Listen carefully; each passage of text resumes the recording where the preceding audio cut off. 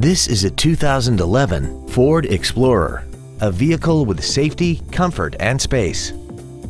This SUV has an automatic transmission, a six-cylinder engine, and the added safety and control of four-wheel drive.